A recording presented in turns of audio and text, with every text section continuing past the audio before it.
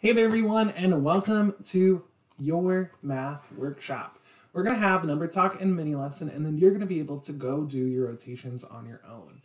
We're going to start as always with number talk and number talk will be a little bit different today.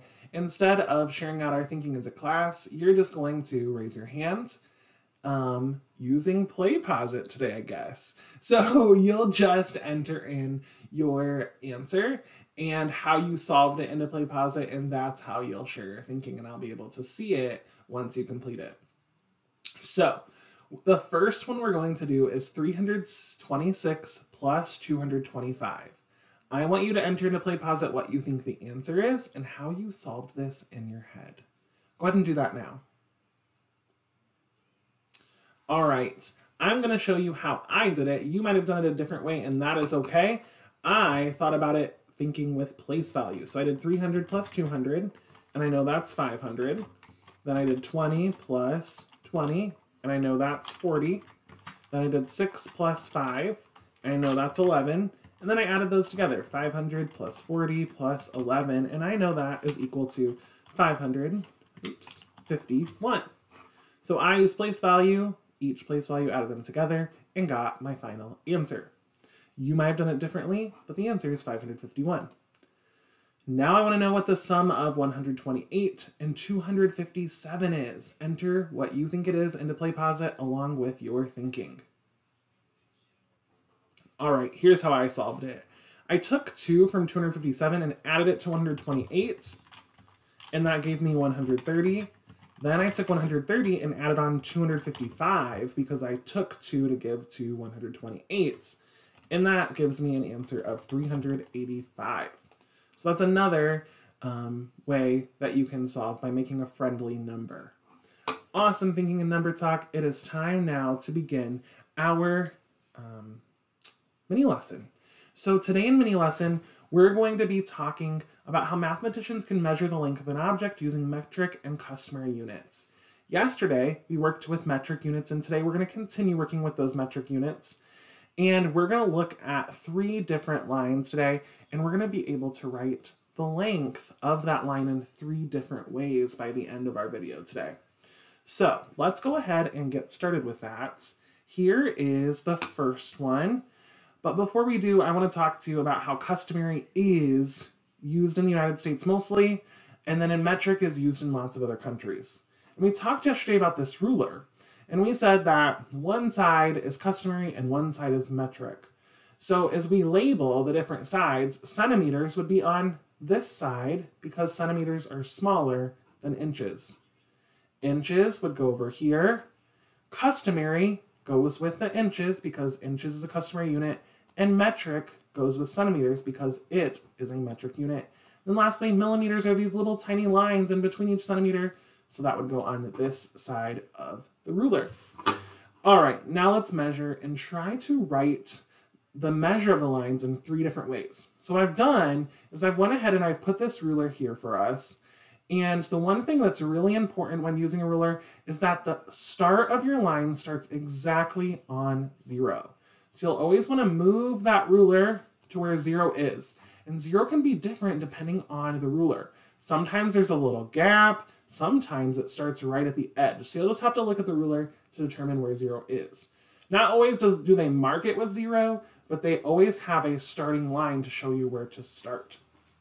So here I've got my ruler placed, and I see that we've definitely got seven centimeters here. So we've got seven centimeters, and then we're two lines past. So I've got a 7 and I've got 2. What would I write for the measurement of this line? Hmm. Well, I know that each number is 7 centimeters, and I know each of the little lines is millimeters, so 7 centimeters and 2 millimeters would be correct. Now, there's actually three different ways we can write this. We can write it like this, 7 centimeters, 2 millimeters. We could write 7.2 centimeters, or lastly, we could just write it all in millimeters, and that would be 72 millimeters, because in each centimeter, there's 10 millimeters. So if I go 10, 20, 30, 40, 50, 60, 70, 1, 2, 72 millimeters. So I'm going to ask you to help me in PlayPosit answer how long this line is. I'll make sure to move the ruler so that you can see how long this line is. Okay. So now the ruler is placed, it's at zero. I want you to type in one of the ways you could write how long this line is. You could do centimeters, millimeters, you could do all millimeters, or you could do all centimeters. You try it. All right. If you said that it is 6.3, sorry, 6.3 centimeters, you're correct. If you said it's 63 millimeters, you're correct. If you said it's 6 centimeters, 3 millimeters, you, my friend, are correct. So you could have written it in all three of these ways because they are all equivalent to each other. For the very last I'm going to ask you to write it in all three ways. So I want you to write it all in centimeters, all in millimeters, and in centimeters and millimeters. We're going to move to the very last one, and I'm going to ask you to do that on this page. I'll make sure to move this ruler so that it's in position for you. And I'll put it right at zero, and I'll twist it a little here. There we go. And I'm wondering, how could I write this in centimeters and millimeters, centimeters, and millimeters? Enter that into PlayPosit now. Enter all three measurements that I could write to represent how long this line is. All right, let's look at it together.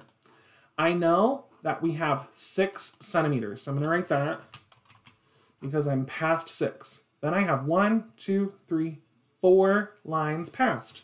Those are all millimeters. So four millimeters.